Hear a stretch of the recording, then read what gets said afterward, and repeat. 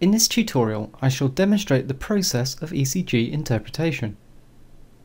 ECG interpretation is a skill, so it's important to use the same process every time you practice. ECGs, like any other medical test, should be interpreted in the context of the patient's symptoms.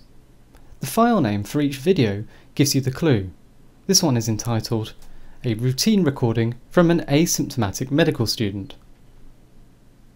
We'll always start looking at the ECG from a distance, like this, as if you were holding the whole ECG in your hands. You'll notice throughout all of the interpreted ECGs on ECG Zone that we'll completely ignore the computer interpretation at the top of the ECG. This is because it's so frequently wrong. As you'll see here, the computer thinks that this medical student was having a myocardial infarction. They weren't. Now, let's run step by step through the process of interpreting this ECG. Firstly, we'll calculate the patient's heart rate. This is usually best done from the rhythm strip, and there are two ways of doing it. When a patient's heartbeat is regular, one can estimate the heart rate from the distance between any two adjacent heartbeats. This is done with a simple rule of thumb you take the number of large squares between two heartbeats. Here there are four large squares between these two complexes, and you divide 300 by that number. 300 divided by 4 is 75, so the patient's heart rate is 75 beats per minute. This rule of thumb only works, however, if the patient's heart rate is very regular. Further along this ECG, you'll see that there are closer to three large squares between each pair of beats. 300 divided by 3 is 100, so at this point the patient's heart rate was 100 beats per minute.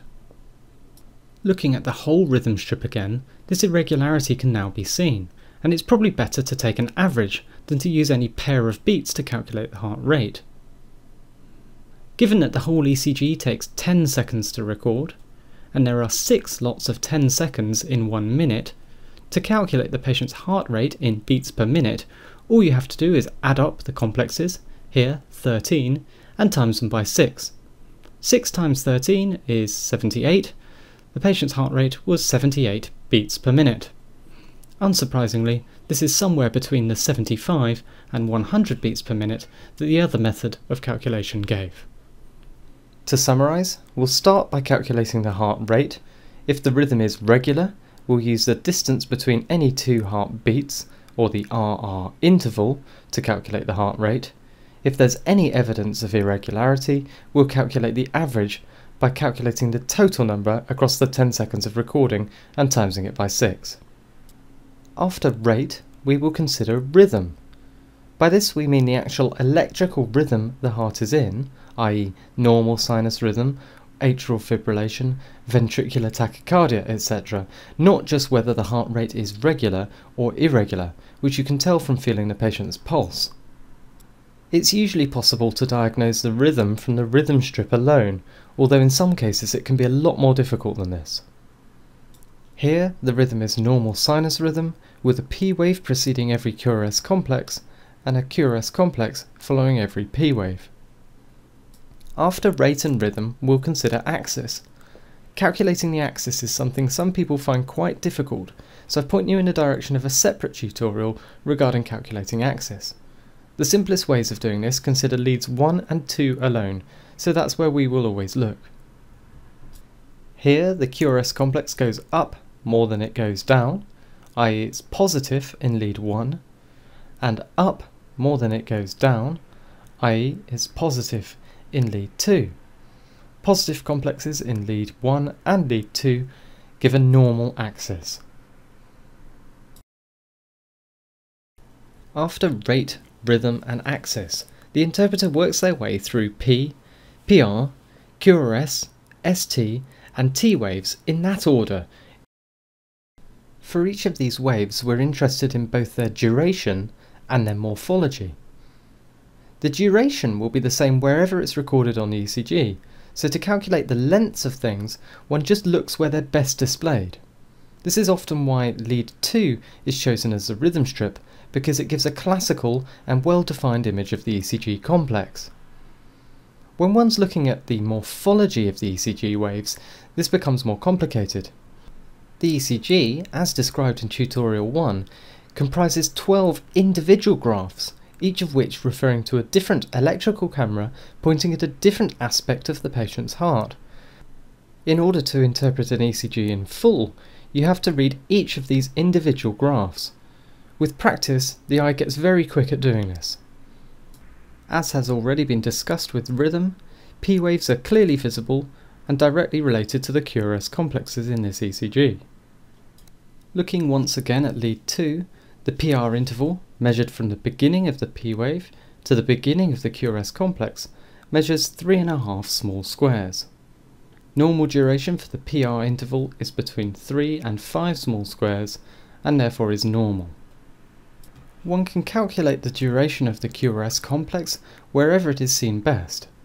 As is often the case in this ECG, it's seen very well in lead 2 and therefore the rhythm strip. Here the QRS duration measures 2 small squares and is therefore normal at less than 3 small squares.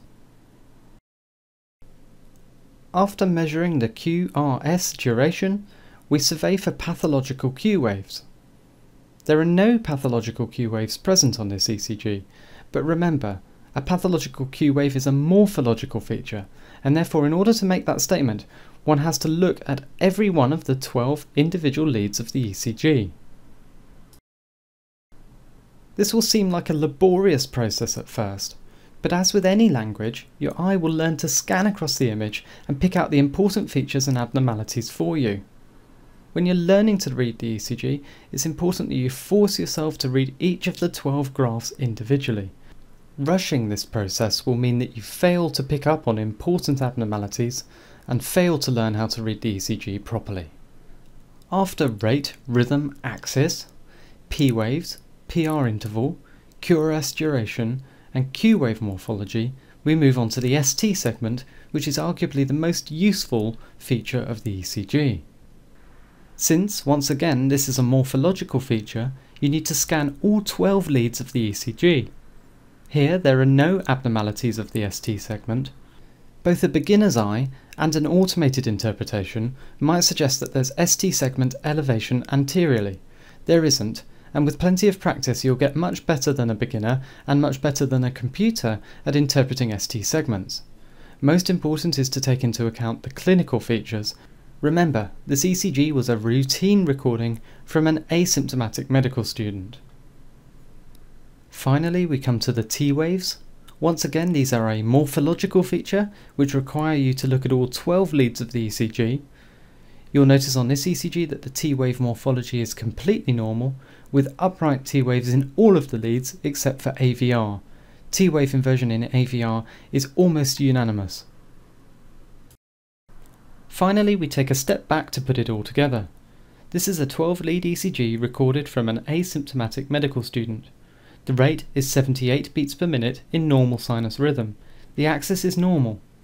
The P waves are present with a normal PR interval, and the QRS complexes show a normal duration. There are no diagnostic ST or T wave changes. In summary, this is a normal ECG. Unless specific features of an ECG dictate we should do otherwise, we'll work through the order of service, rate, rhythm, axis, P waves, PR interval, QRS duration, Q-wave morphology, ST segment morphology, T-wave morphology, and putting it all together for every one of the ECGs on this site.